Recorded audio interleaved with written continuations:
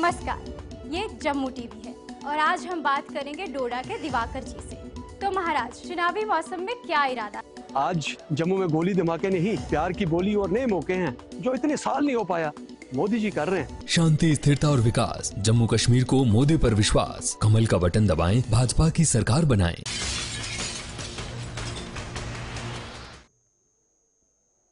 नमस्कार J K twenty four into seven में आपका बहुत बहुत स्वागत है और मैं हूँ आपके साथ शीतल शर्मा। सुबह के 10 बज चुके हैं और 10 बजे वक्त चलता है कुछ बड़ी खबरों का एक एक कर।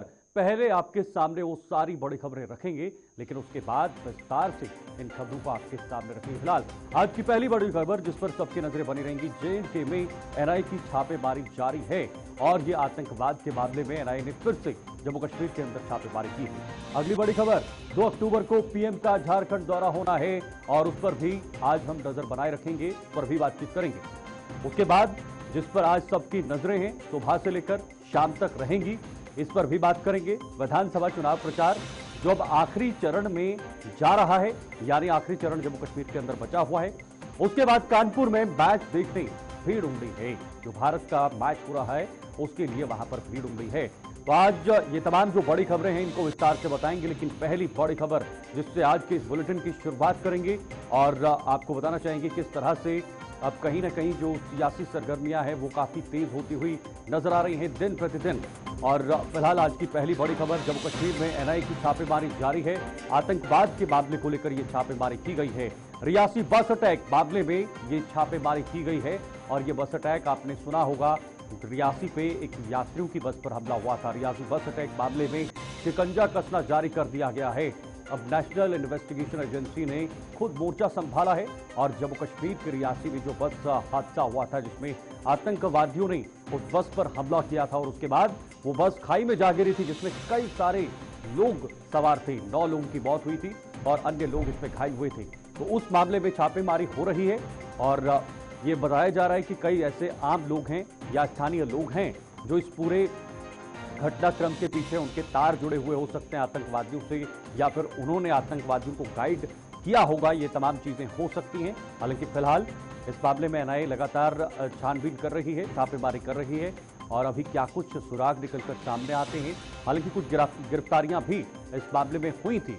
जब ये बस हादसा हुआ था, उसके बाद और भी कुछ हमले यहाँ पर हुए थे, लेकिन उसके बाद कुछ गिरफ्तारियाँ हुई थी, लेकिन साफ़ तरीके से कोई चीज़ें या ठोस चीज़ें निकलकर सामने नहीं आई थी।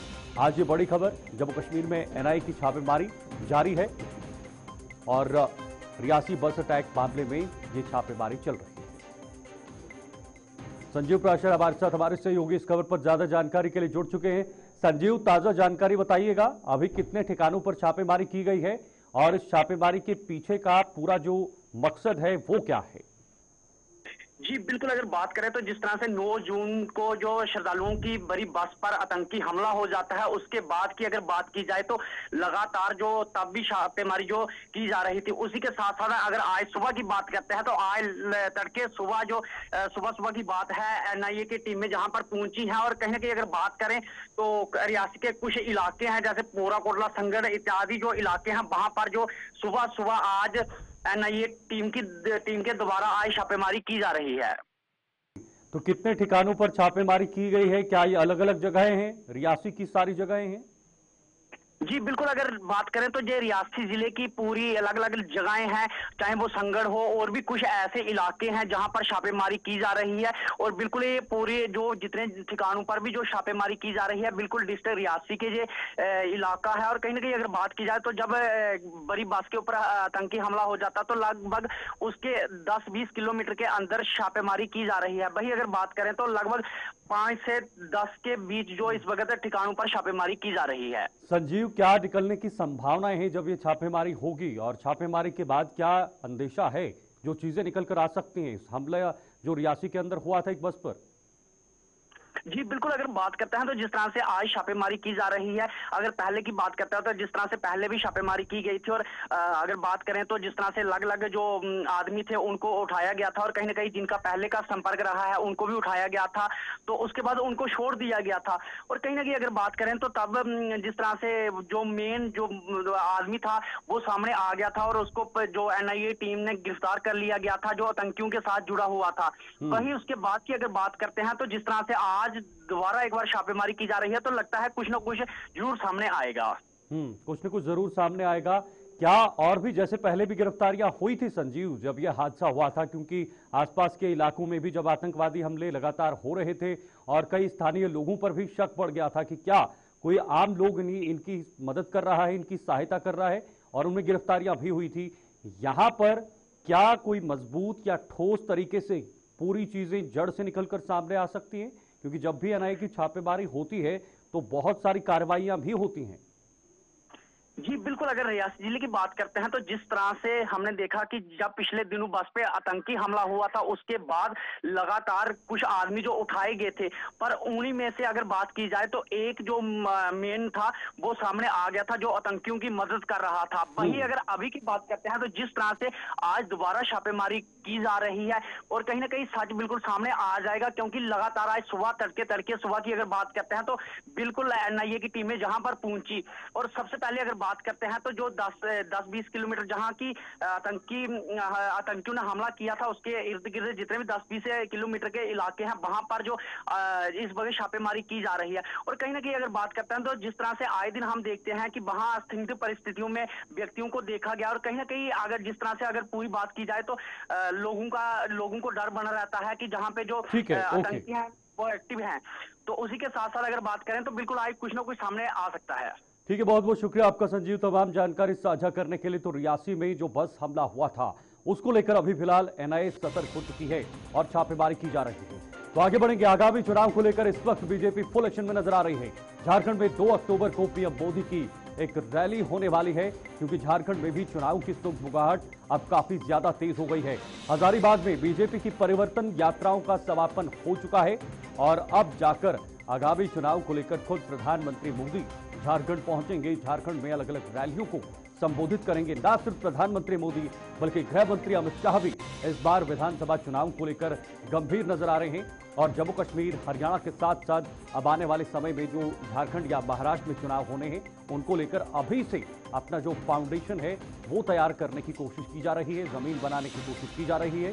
हरियाणा में बेशक भारतीय जनता पार्टी की गठबंधन में सरकार है लेकिन झारखंड में जेएमएम की सरकार है जहाँ पर बीजेपी विपक्ष में है। इस बार बीजेपी ने झारखंड में अपनी ज़मीन को तैयार करने के लिए कुछ बड़े कदम भी उठाए हैं, कुछ परिवर्तन भी हुए हैं, जिसमें खुद पूर्व मुख्यमंत्री जो चंपई सोरेन थे, जो कुछ महीनों के लिए झारखंड के मुख्यमंत्री रहे, उन्होंने वहाँ का पूरा मोर्चा संभाला। लेकिन जब जब वहाँ से पहले के मुख्यमंत्री बाहर निकल कर आए, हेमंत सोरेन जब जेल से बाहर आए तो तब उन्हें इस्तीफा देना पड़ा। इस्तीफा देने के बाद वो मुख्यमंत्री पद से हट गए। उन्होंने नाराज़गी ज़ाहिर की और अपनी पार्टी के जो विपरीत, वो बीजेपी में शामिल हुए, जिनका प्रभाव वहाँ पर कुछ जगहों पर देखने को मिलता है। फ़िलहाल मनीष झा हमारे साथ ज्वाइन हो चुके हैं। सीधे मैं मनीष का ही रुख करना चाहूँगा। मनीष झारखंड की सरगर्मियाँ, जो राजनीतिक सरगर्मियाँ हैं, वो अभी से तेज हो गई हैं। हालाँकि अभी चुनाव का ऐलान नहीं हुआ है, लेकिन जो चुनाव आयोग है, वो पहुँच चुका है। ज़मीन पर देखा गया है क्या कुछ चल रहा है। चुनाव होने की अब बहुत जल्दी संभावनाएँ भी हैं कि बहुत जल्द ऐलान हो जाए। बिल्कुल शीतल भारतीय जनता पार्टी इस बार कोई कसर छोड़ना नहीं चाहती है। इसीलिए हम्म। जितने शीर्ष नेता हैं सभी झारखंड का दौरा कर रहे हैं। कल भी रक्षा मंत्री राजनाथ सिंह धनबाद में थे और उन्होंने वहाँ से परिवर्तन यात्रा को संबोधित करते हुए लोगों को संबोधित करते हुए उन्होंने कहा कि परिवर्तन होना ज़रूरी है। जिस तरह केंद्र में बीजेपी एवं उनकी सहयोगी दल काम कर रही है झारखंड में यदि उनकी सरकार आएगी तो इसी तरह काम करेंगे जिससे कि झारखंड का विकास होगा हम्म। हमला करते हुए भारतीय जनता पार्टी के तमाम नेता वहाँ मौजूद थे। उनके सामने उन्होंने कहा कि जेएमएम और कांग्रेस ये दो ऐसी पार्टी है जो हमेशा लूट के फेर में रहती है। और अभी तक का अगर आप रिकॉर्ड उठाएँगे तो हम्म। वादा खिलाफी की है। जो जो वादा उन्होंने जनता से किया था झारखंड के लोगों से किया था एक भी पूरा करने में वो सफल नहीं रहे हैं। मैया सम्मान योजना देकर सिर्फ़ लोगों को लोक लुहावनी इस तरह से कहावत वो कर रहे हैं जिससे लोग भ्रमित हों लेकिन इस बार भ्रमित होने वाले नहीं है। तो बिल्कुल मनीष देखिए बीजेपी हमेशा कहती है कि हम 24 फोर इंटू सेवन चुनाव के लिए तैयार रहते हैं। ऐसे में झारखंड में जब चुनाव होंगे तो क्या एक रणनीति होगी बीजेपी के पास? हाँ, बिल्कुल Sheetal twenty four into seven BJP के, के जो नेता है वो तैयार रहते हैं। और प्रधानमंत्री मोदी का दूसरा दौरा क्योंकि इससे पहले कोल्हान में उनका दौरा था अभी हम्म। उनका झारखंड में हजारीबाग में दौरा है तो ये बताता है कि कितने गंभीर है भारतीय जनता पार्टी झारखंड ठीक है मनीष बहुत बहुत शुक्रिया। ये बताता है कि अब किस तरह से गंभीरता और भी दिखाई जा रही है इन चुनाव को लेकर और लगातार पीएम मोदी गृह मंत्री अमित शाह खुद मोर्चा संभाले हुए वक्त एक और छोटी सी ब्रेक का है फ़ौरन लौटते हैं।